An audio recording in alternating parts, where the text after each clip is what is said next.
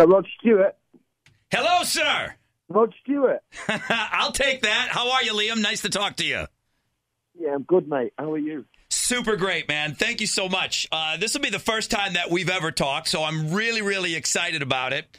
All right. I kept it under wraps. I didn't tell anybody. We do a morning show here in Houston, and I didn't tell anybody on my team that I was talking to until this morning. And they know what a geek I am, what a super fan I am. So I just kind of threw it out there. I'm like, yeah, I'm talking to Liam later today. We're going to record something. They wouldn't know who I am. They'd be like, "Who the fucking LZ?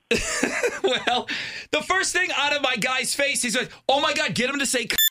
And I said, dude, it doesn't work that way. I, I said, I'll let him know that we're recording and he can speak as freely as he like, but it just doesn't work that way. So I am telling you, we're recording and you can be as comfortable as you'd like with your language, my good friend. Yeah, I, I treat that word very. Um, I don't use it very lightly, man. well, There's a lot. There's a lot of people that throw it around like it's some kind of like party trick and that. But no, no. When I when I say it, I mean it, man. So it, it's only like for special occasions when it's really needed for the emphasis. For sure.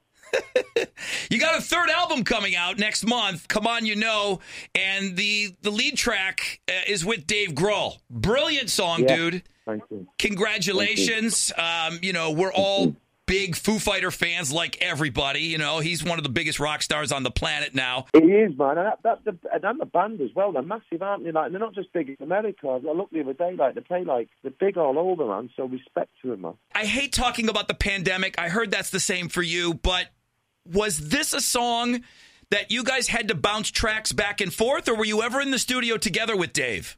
No, never in the studio. No. Here's what happened. So we finished the album around about November last year, and we started it sort of maybe in the second lockdown because the first I weren't even going to do a record. We finished the tour, and then we sort of got away with the tour, and then the, then it all went weird. So I sort of just sat in the garden and drank and just thought, all right, the end of the, the end of the world, and then uh, sort of realised, sort of gone, you know what, it's actually not. Then started messing about with some tunes, and then I think it was all. And then, then the lot, then the restrictions sort of were chilled and that, and then we could get into the studio, and we got in the studio, banged some tunes down, and then finished it in November. And then I was leaving the studio with the album finished, going to the pub, and then I get a phone call saying, "Look, can you go back in the studio? Greg Kurstin and Dave Grohl wrote you this tune." So I said, "All right." So I've gone back in, listened to the song, put down the vocals, sent it back to them, and then they sent it back, and then that, this is what we ended up with. So it was kind of like that, really. So Dave had the kind of the construction of the song, and you did the lyrics and the vocals on it. Yeah, no, they did the lyrics as well. I just done the vocals and um, just did a few, changed a few bits, but nothing, nothing too heavy. You know what I mean? When you hear it though, it sounds like it was perfect for you. So when Dave gets Yeah. gets this idea, I mean, he's got this when when he's creating this, he's got you in mind, right? From the start? Yeah, I think it was him and Greg Kurstin as well. So it was the three of us sort of just they they sort of done the music and then sent it over. But I mean, listen, we're from the same thing, aren't we? You know what I mean? I think the Foo Fighters are very similar to Oasis. You know what I mean? It's you know it's proper. It's you know it's root one rock and roll. You know what I mean? There's no need no frills in that. It's just pretty much good melodies. You know, and great you know great guitars and great singing. You know what I mean? So it's it's that's the formula. You know what I mean? So it's um, pretty straightforward, really. When you first started talking about this album, you may have had enough for two albums. Was there ever a time when you were going to put out two separate albums, and then you wind you wound up condensing everything for one? No, because obviously when the pandemic come, I thought to myself, I thought, you know what, you know, everyone was having a moment and sort of thinking how beautiful the world is and what we've done to it and blah, blah, blah, and it's just the end. And, you know, everyone was going through these mad things and all that. And I thought, if we do get the chance to do a record, maybe everyone will be coming back with these rocking records and, you know, telling how much they hate the government and how much da da da and da da da and, and all this nonsense. And I just thought maybe we should come at it a different angle and maybe write you know, do an album full of love songs, you know, just sort of a bit more chilled, a bit like Simon Garfunkel kind of thing. So there was a couple of songs like that on the go. And then it sort of went back to the mad stuff, the rock and rolly stuff, and then it sort of went back to the love kind of chill stuff. And then we ended up with Come On You Know. So there's still a few, I reckon there's half a record left of more chilled record. You know what I mean? Liam Gallagher is our guest on the phone. His third solo album will be out on May 27th. Come on, you know. Lead track with Dave Grohl. That's not your only guest on this album. I think a lot of people will know Vampire Weekend. So Ezra from Vampire Weekend is also on a track. And how did you get involved with him? Yeah, well, so the guy that I write the songs with, Andrew Watt, he said, "Listen," he goes, "I've got this tune that, uh, that the guy out of Vampire Weekends wrote, which is called Moscow Rules." Now, this is way before all this stuff that's happening. So I was going, "Oh, that sounds a bit strange and a bit odd. Let's have a listen." So we played it, and this was in RAK Studio, and I thought it's pretty, um, pretty out there, man. So, um, so we cracked on with it, and then the next, I think the next when a couple of months later, Ezra popped up, and I'd never met him before. A nice lad, and then we carried on with that song. So um, that's how that happened. But it's a great tune. It's, it's nothing to do with Moscow. It's cool and rules and stuff, and I'm sure there's nice bits about it. But uh, it's not um, pro Moscow. You know what I mean? The world wasn't yeah. quite as crazy, if you could believe it, when you wrote that than it is now. Yeah, the timing's a bit shitty and that, but when people hear it, they'll sort of realise it is what it is, and it's nothing to do with that. But and if you know, and if people really kick up a storm about it and they don't want it, you know what I mean? They just don't fucking listen to it. You know what I mean? Simple as that. It's only guitar music. It's only music, and if it really upsets people, then uh, I guess we can bin it off. It's not a problem. So you mentioned Andrew Watt. This guy. Yeah. What is it about this guy? Now I met him when he was here as a solo artist he was on one of our festivals. He's got the long hair. He's jamming the guitar. He's fucking rocking out. It's awesome, right? So I, I know that he's special on stage, but then he becomes the golden child of producing right now, and you've got him as a co-producer yeah. on this album. And writer, yeah, he writes the songs as well. That's a good question. I, I lie in bed many a night, sweating, going, "What is it about this guy?" and I can't put my finger on it, which is a good thing.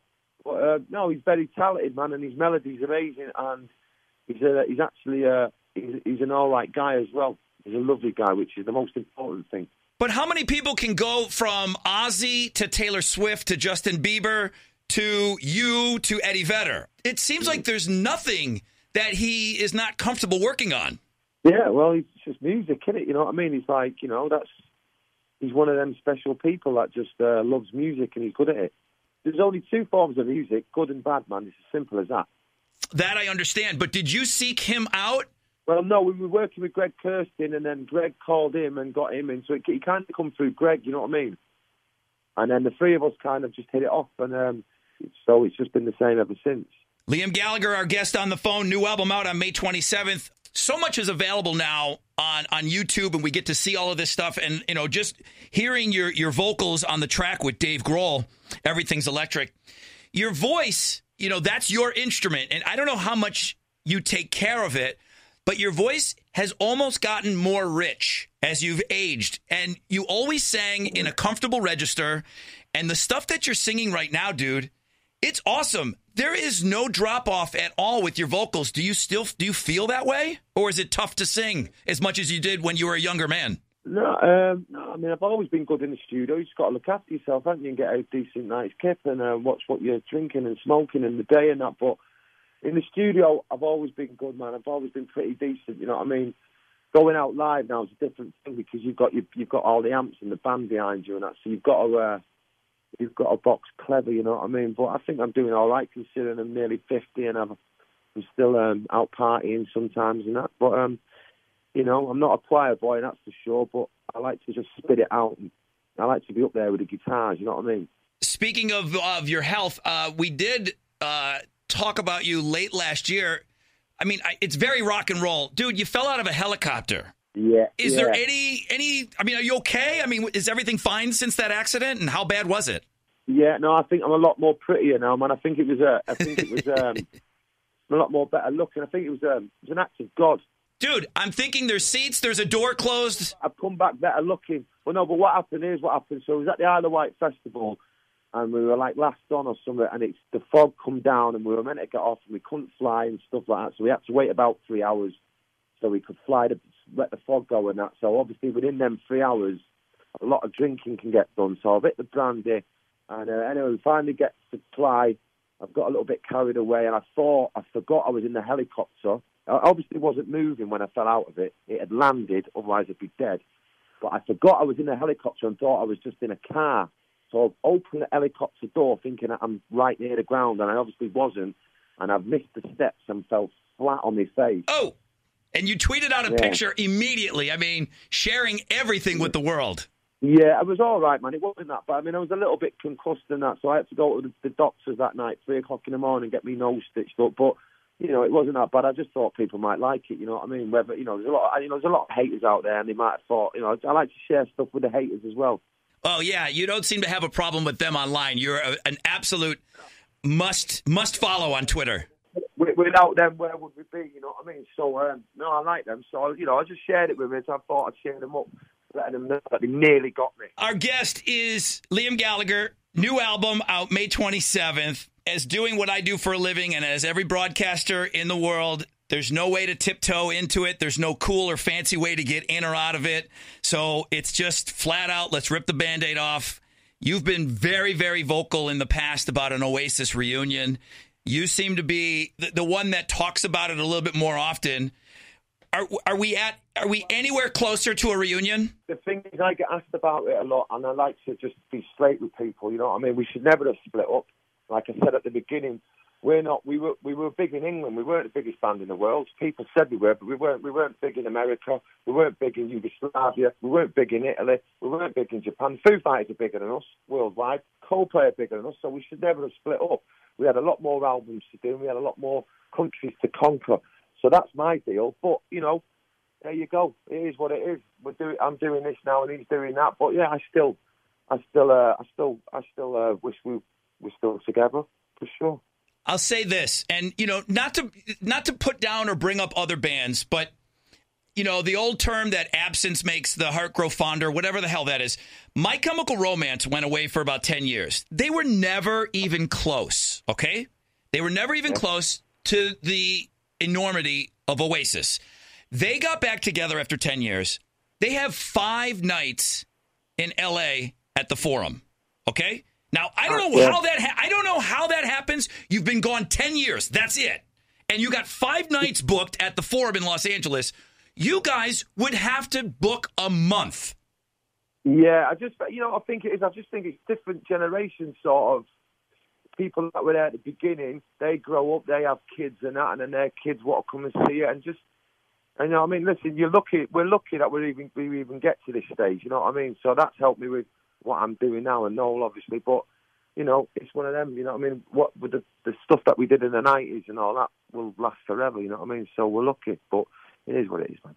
I, I know the term, and I loved it when I watched the the, the documentary where it, it was biblical. Dude, uh, with the with the amount of time that you've been away, you would eclipse all the bands that you mentioned. It would be mm. unbelievable, and I think you know that, and I think we all kind of know that, and and we just Without a doubt. And we love you so much, and that's kind of why. But are you going to be out touring uh, solo? You're going to be touring this record all summer long? Yeah, so we start. I've got a gig next week for the teenage cancer thing in the Royal Albert Hall with the Who and stuff. So we've got that, and then and then we've got a few little more things going on. Then we do the Knebworth, and we do like got a few nights at Knebworth in the June, and we've got a few little tour, like a few gigs with the Foo Fighters, some abroad and that, and um, and then I guess we go to Japan and that. But yeah, I'll be touring where, wherever, wherever they'll have us. I'll play anywhere, me. I'm mad for it. Are you looking at a chunk of time to do shows here in the states?